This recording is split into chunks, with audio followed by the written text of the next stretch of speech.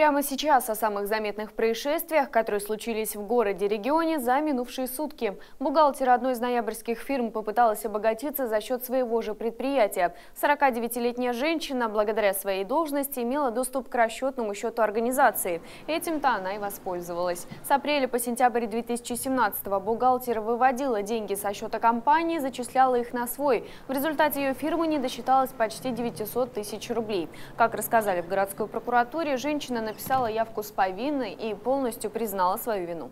Подсудимая характеризовала в целом удовлетворительно. Ранее к уголовной административной ответственности она не привлекалась. Активно способствовала расследованию преступлений. Суд признал бухгалтера компании виновной в хищении денег в крупном размере. Ей было назначено наказание в виде полутора лет лишения свободы условно с испытательным сроком три года. В этот срок она, соответственно, обязана являться на регистрацию уголовно-исполнительную инспекцию, не менять место жительства и регистрации. Ну и исковые требования судом также были удовлетворены в полном объеме, то есть она обязана возместить тот ущерб, который причинен был ей в результате преступных действий. Фигурантом уголовного дела стал еще один житель Ноябрьска, только уже несовершеннолетний. На скамье подсудимых он оказался за грабеж. Предметом спора стала украденная кепка. Главный убор своего знакомого юноша облюбовал давно, даже попытался купить кепку. Но приятель оказался непреклонен и продавать ее отказался. Тогда молодой человек сорвал кепку с головы владельца и убежал. По факту грабежа было возбуждено уголовное дело. 18 лет вот-вот исполнится нашему подсудимому. То есть, соответственно, уже ранее он привлекался к уголовной ответственности, должен был понимать, что такие действия осуществлять нельзя. Э, с учетом несовершеннолетнего возраста, позиции государственного обвинителя, было назначено наказание в виде обязательных работ, э, и 40 э, часов обязательных работ должен будет несовершеннолетний отработать во благо нашего города. Свою вину в попытке грабежа признал еще один ямалец, на этот раз 26-летний житель Тазовского района. По версии следствия, преступление мужчина совершил в декабре 2017 года. Он ворвался в один из магазинов Салихарда и попытался с помощью ножа вскрыть кассовый аппарат.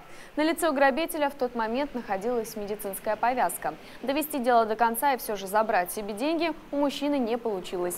Известно, что раньше он уже был судим, постоянного заработка не имеет. В отношении него возбуждено возбуждено уголовное дело. Санкция вменяемой 161 статьи Уголовного кодекса предусматривает наказание в виде лишения свободы на срок до 4 лет.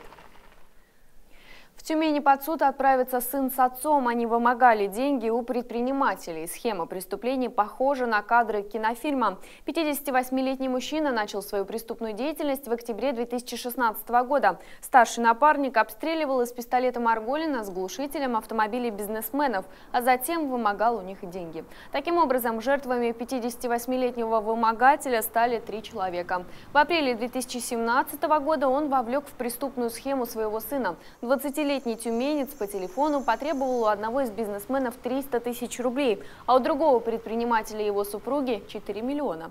Жертвы обратились в полицию, и вскоре вымогатели были найдены. Инициатора преступления по решению суда заключили под стражу. Его сын находится под подпиской о невыезде. Злоумышленникам грозит от 7 до 15 лет лишения свободы.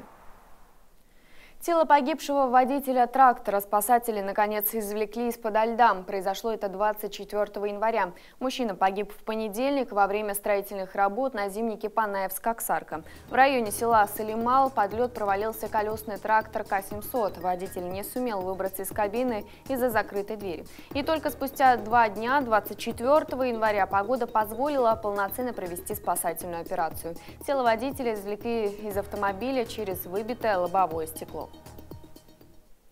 К этому часу у меня все. Я напомню, стать мобильным репортером рубрики «Ноябрьск происшествия» может абсолютно каждый. Если вы стали свидетелем какой-либо чрезвычайной ситуации, смогли заснять все это на камеру мобильного телефона, фото и видео оставляйте в официальных группах рубрики и телеканала «Ноябрьск-24» ВКонтакте.